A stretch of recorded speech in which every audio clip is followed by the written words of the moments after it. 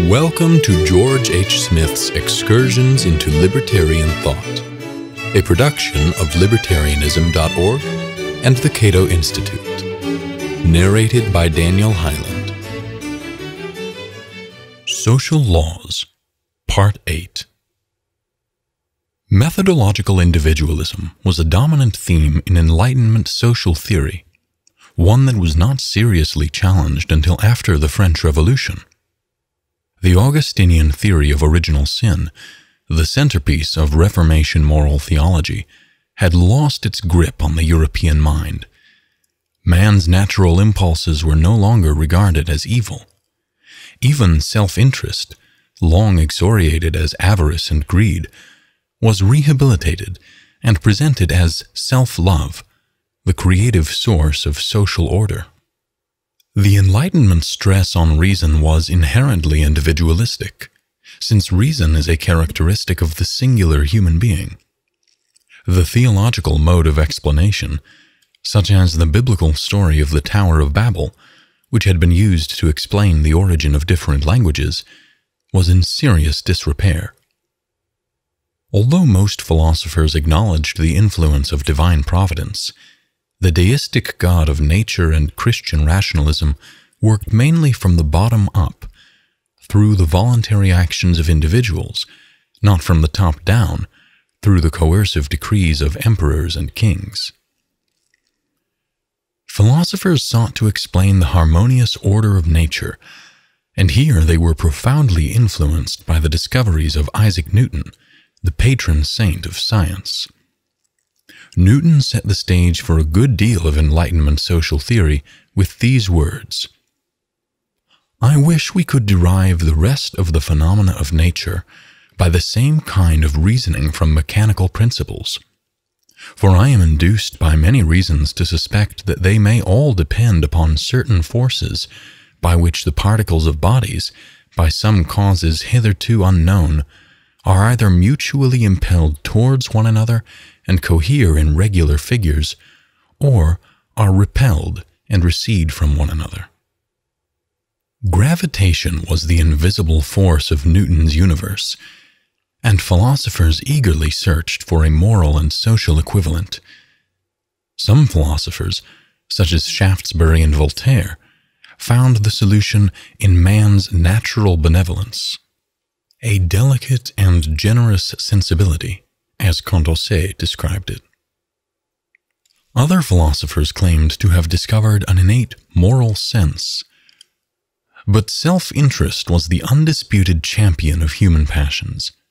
So here was the leading contender for the moral and social equivalent of gravitation.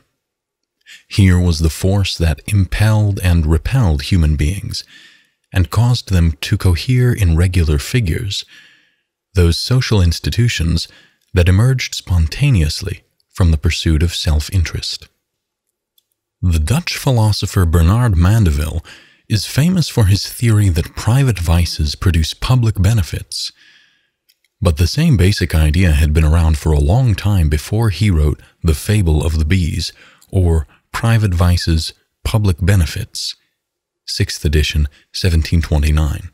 In 1625, for example, an Englishman argued that original sin had nearly eradicated charity from human nature, but that sinful actions, especially greed, cupidity, are sufficient to fulfill man's reciprocal needs. In order to the supplying these necessities, cupidity hath taken the place of charity, and effecteth it after a matter which we cannot enough admire, and whereunto the ordinary charity would not arrive. For example, you see spread all over the country persons who are ready to assist you when you travel. What could be more admirable than these persons were they animated by charity? But it is cupidity which maketh them act. Where is that charity which is contented to build a house for you? Cupidity will do, and cheerfully too. What charity will run to the Indies for medicines, stoop to the meanest employments, and not refuse the basest and most painful offices? Cupidity will perform all this without grudging. quoted in J. A. W. Gunn, Politics and the Public Interest in the Seventeenth Century, 1969, page 213. Montesquieu, in his treatment of monarchy, Spirit of the Laws, 1748, compared self interest to a power of gravitation that connects all parts of the body politic and draws subjects to their king.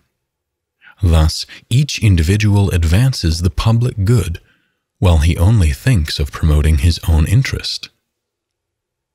Enlightenment philosophers repeatedly spoke of invisible chains that link self interest to the public good. Mandeville referred to the chain of causes that connects the selfish actions of individuals so that they produce social benefits, as naturally as chickens do from eggs. The Scotch Irish philosopher Francis Hutcheson, a teacher of Adam Smith, referred to the secret chain between each person and mankind. Likewise, the Italian philosopher Vico discussed the same eternal chain a theory that he traced to the ancient Stoics. It is significant that Adam Smith, who also spoke repeatedly of invisible chains, was influenced by Stoicism. Given many similar observations by other Enlightenment thinkers, it is fair to say that Adam Smith's invisible hand, according to which the pursuit of economic self interest, if pursued within the boundaries of justice, will frequently generate beneficial social outcomes that were not intended by the acting agents, became a common theme in moral philosophy before it became a staple in economic thinking. Consider these remarks by Bishop Butler. Sermons, 2nd edition, 1729. By acting merely from regard, suppose, to reputation, without any consideration of the good of others, men often contribute to the public good.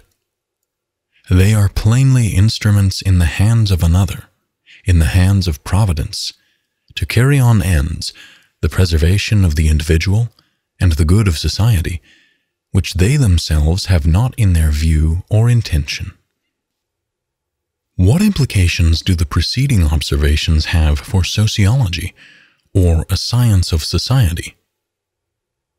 Let's begin with a passage from a book by William Stanley Jevons, a seminal figure in marginal utility theory. The Principles of Science, a treatise on logic and scientific method. Second edition, 1877, page 1. Science arises from the discovery of identity amidst diversity. The process may be described in different words, but our language must always imply the presence of one common and necessary element. In every act of inference or scientific method, we are engaged about a certain identity, sameness, similarity, likeness, resemblance, analogy, equivalence, or equality apparent between two objects. The whole value of science consists in the power which it confers upon us of applying to one object the knowledge acquired from like objects.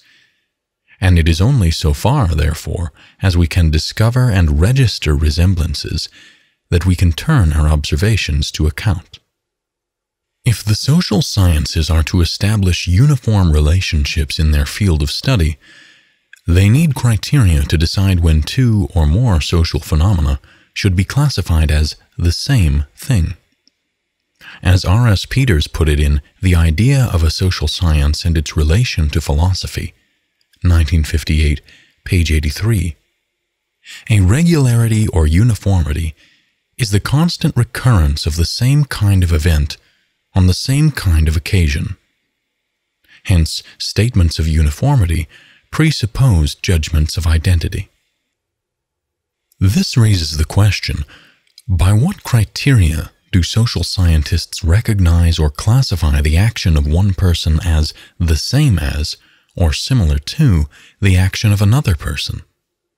Or by what criteria do social scientists recognize or classify different actions by the same person as essentially identical?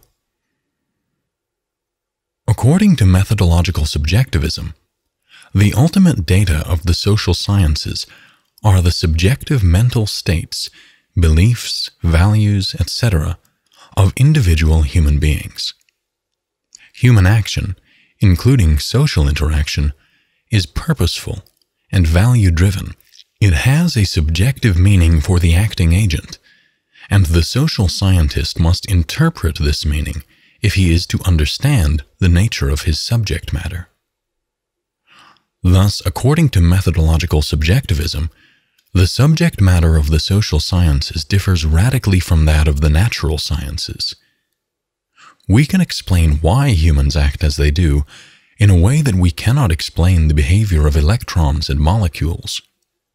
As a human being himself, the social scientist knows that there is far more to human behavior than its external or objective characteristics. He knows that each person carries within himself a subjective world of feelings, desires, beliefs, values, etc. And he knows, or should know, that these subjective factors impart to each action its distinctive identity. F. A. Hayek, in a careful analysis of methodological subjectivism, the counter revolution of science, pointed out that the social scientist unlike the physical scientist, must accept his subject matter as he finds it. The natural scientist, on the other hand, need not accept the everyday or commonsensical classification of the objects that constitute his field of study. He is well aware that facts often differ from appearances, that things which appear the same to us do not always behave in the same manner, and that things which appear different may exhibit other similarities that escape the untrained eye. Thus, rather than accept the uncritical opinions of others at face value, the natural scientist must often forge new classifications that will serve his cognitive purpose.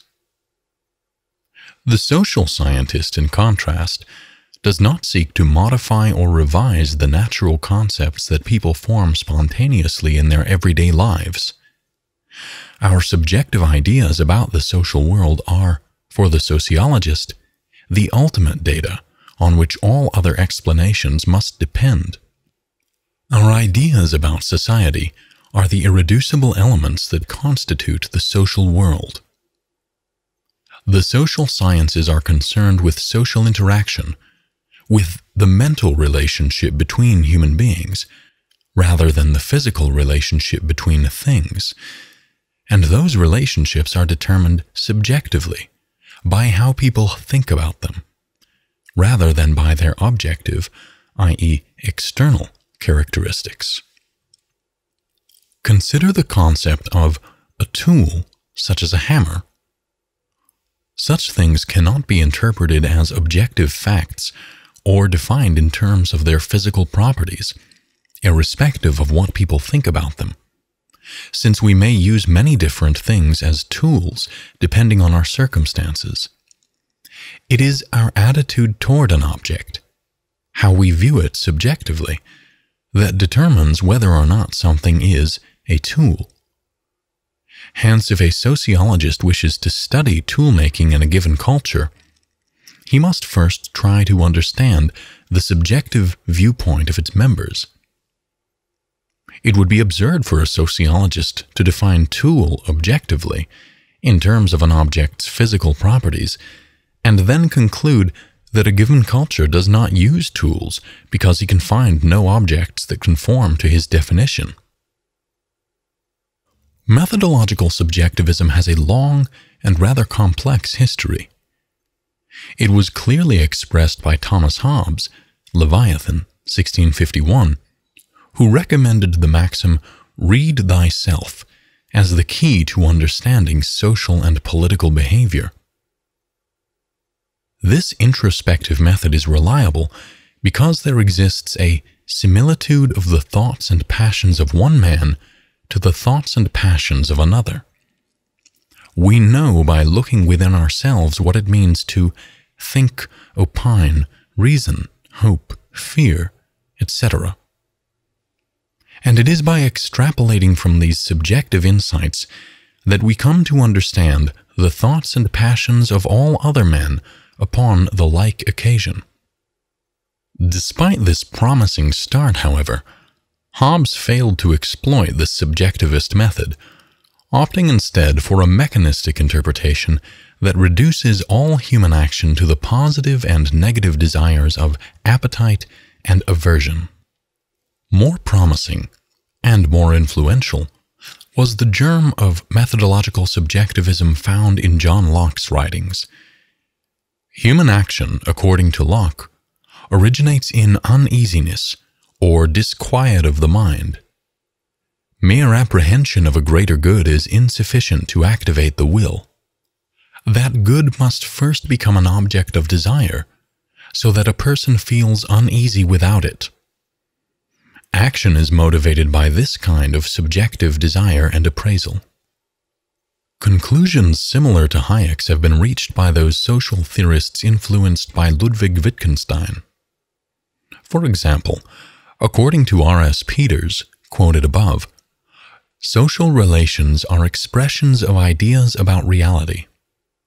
If we wish to classify two social phenomena as the same, we must first understand how these phenomena are understood by the people involved.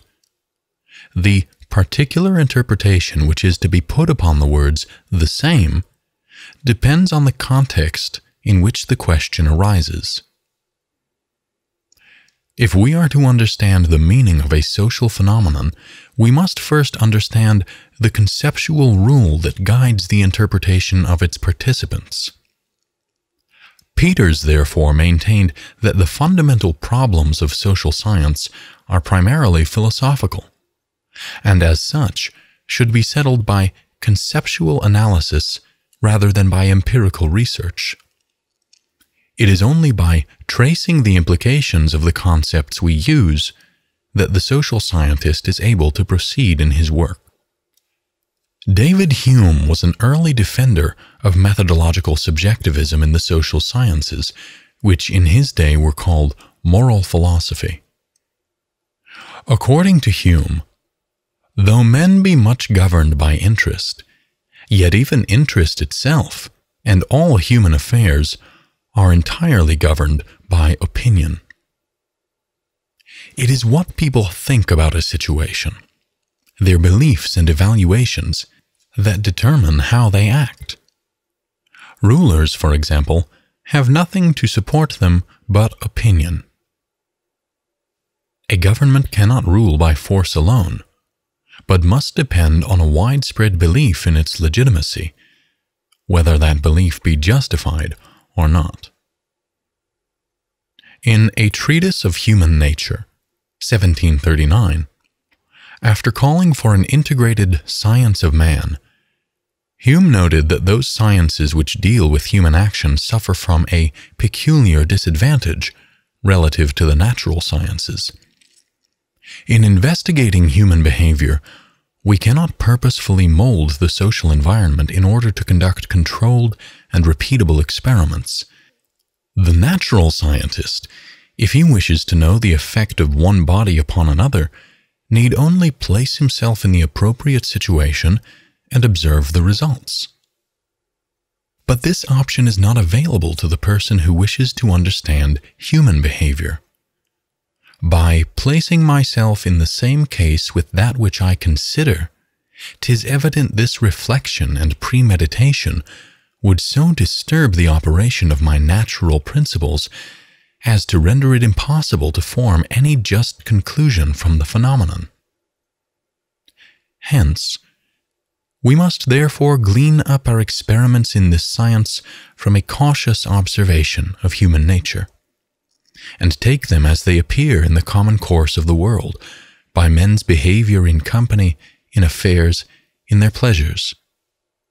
Where experiments of this kind are judiciously collected and compared, we may hope to establish on them a science which will not be inferior in certainty and will be much superior in utility to any other of human comprehension. This cautious observation of human nature, which takes into account the subjective beliefs and values of individual agents, is the essence of methodological subjectivism. Thank you for listening to Excursions.